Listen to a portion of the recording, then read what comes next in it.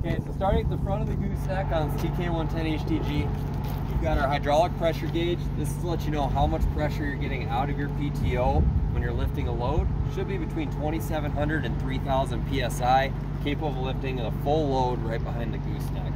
If you have any issues when you are lifting a load off the ground, make sure check this to see what kind of pressure you're getting out of your truck pump. Should be between 2,700 and 3,000 PSI. All of your controls for your lift cylinders and your gooseneck support are here all the instructions on how to disconnect properly and reconnect the trailer are shown on this decal, as well as all of your grease points on the gooseneck. These pivot bearings here don't get a lot, or pivot bushings don't get a lot of rotation, so it's important to make sure you grease the inner and the outer points, as well as on top where the cylinder pivot slot is here. That way, you, make sure everything stays nice and lubricated, it doesn't start to bind up couple key point or key tips that I like to tell people when they're detaching the gooseneck. When you go to lower it off the ground and you lower your load pins here, or your stirrups off the load pins, only bring it down about a half an inch. That way this riser box stays in line with the trailer as much as possible. When you drop the air in your truck and you lower it off about a half an inch and pull off, and you come back and lower the air in your truck to reconnect, the box will be at the same plane and hook back into place every time. If you lower it too much, it's at an angle and the lock pin doesn't want to go in right away. One of the other things to remember to do is when you go to back, lock, hook back up, just like it says on the directions, lock your gooseneck lock pin before backing up. It's spring loaded. It'll help act as a guide as you get back into the trailer. And when it gets to the hole, it'll drop right into place. Make sure you lock the pin before you go to reconnect. One safety feature built into this trailer is that these load uh, these transport doors with your ride position heights will not go forward unless this lock pin is fully engaged into the trailer. That just prevents you from mistakenly disconnecting going down the road because you forgot to lock the pin. So if you can't get these doors forward, it's because this lock pin isn't fully engaged. One other recommendation I have on the lock pin, and Luke, you want to zoom in on that? These come with grease out of the factory, when in the wintertime, if you do a lot of gravel roads, things get cold, that grease can bind a little bit, make it slow moving. I would clean all the grease off, use dry graphite spray for lubrication instead of the grease. Especially in the colder climates or colder part of the season, it's gonna make it easier to free flow up and down. These little white blocks here are just tension blocks to keep the doors from flopping around when you're moving them. Um, if they're a little tight, you can loosen them, but there's that's all their purpose is, just keep the door, transport doors from flopping when you're when you're trying to pick positions down here. Your multiple ride height doors, this is your main transport door here. You're gonna pick one of your five settings. Each setting is about three quarter inch difference from raising and lowering the bed. When you're empty, if you have your lift axle up, you can use one of these lower two settings to drop the front of the trailer down, which will raise the back up higher and give you more ground clearance off your lift axle. That'll help prevent any scrubbing on the lift. As you can see right now, trailer is blocked similar to what the ride height would be and you've got about three and a half or four inches of ground clearance as it's sitting. When you raise that up, put the transport door in this first position, you'll lose about an inch of that, but you can go down lower to regain that clearance. Uh, the front pull-out outrigger, we do these as a double wide as standard because it takes all the stress of the, the equipment, you know, on when you first come on, all that weight's on this first outrigger.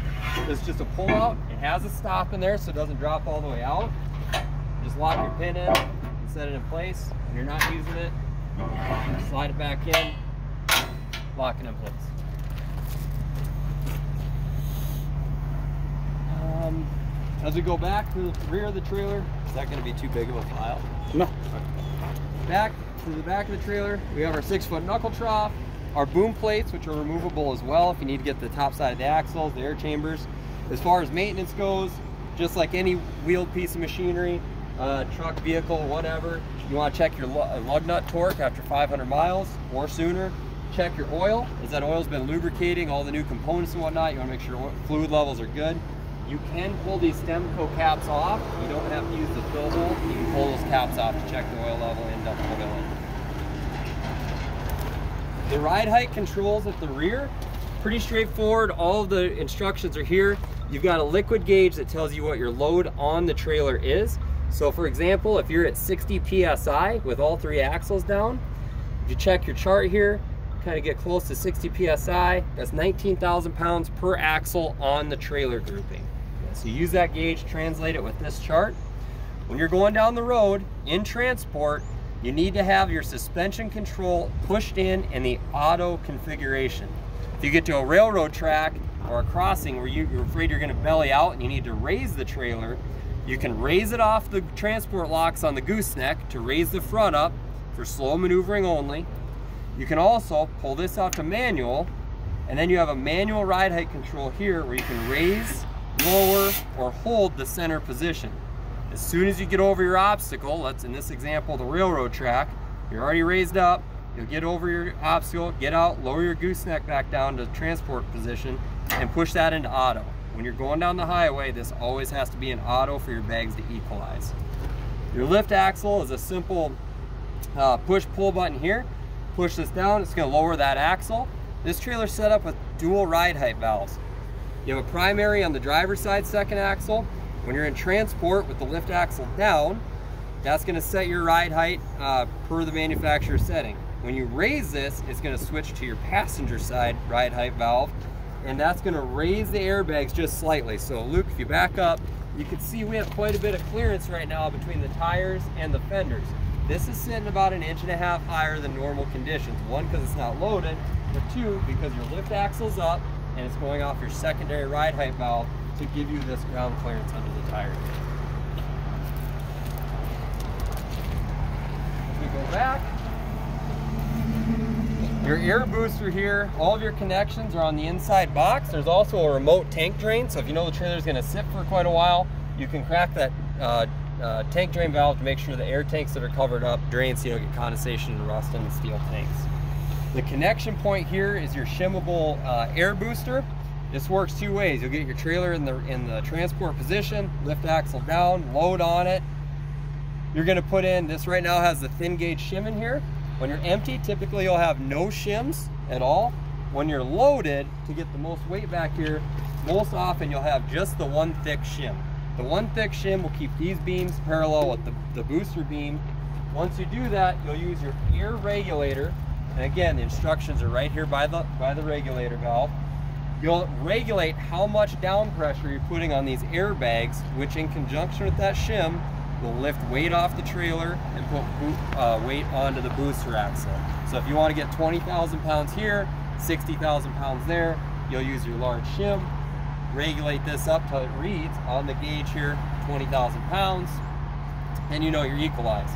When you unload your equipment, it's crucial that you take air out of this. A lot of guys will run around 10 psi still just to keep some down pressure on the on the rear axle for uh, not skipping tires when you lock, when you hit the brakes so they don't lock up a flat spot. But you also want to take the shim out of the booster extension. That way it doesn't run the, the chance of carrying the trailer around a corner. These brackets here are only going to be used if you pin the, the rear flip axle directly behind the trailer these large shims that you see here, you can leave in place all the time between the booster extension and the flip axle. That keeps things parallel and, and in line with each other. There's no reason to take those out um, unless you're pinning this directly behind the trailer to run as a four axle configuration. In the event of pinning this to, uh, directly behind the trailer in a four axle configuration, there won't be any regulator valve. It'll just be an inline plug-in for your, your airbags uh, and the four axles will equalize with each other. One maintenance point other than the S-cams on the brake system on the flip axle is going to be these two pivot points. This is a spherical bearing inside a metal bushing with a race. It's very crucial that you hit the grease points on the top and the bottom for the, what the manual shows um, as often as possible. If you're greasing the brakes, grease this, grease this pivot uh, bearing here. In the event that you want to back the trailer up maneuver, you can use the, the switch on the side here right here to pneumatically lock the pivot and then you can disconnect the line to dump all the air in the booster so that'll make it so you can push the trailer backward without having to try to steer the trailer around. Dump the air and go ahead and lock that pivot and that'll, that'll make it easier to maneuver in reverse. The flip axle is also equipped with chain ups in the event you load the booster onto the trailer at some point. You can use these chain ups here, dump the bags like you see, go ahead and pull his chain up so it'll keep the suspension from dropping out as you maneuver it. Not in use, just go to the lowest, the longest chain setting, and that'll, that'll keep the chains out of the way, and then also not pull on your airbags.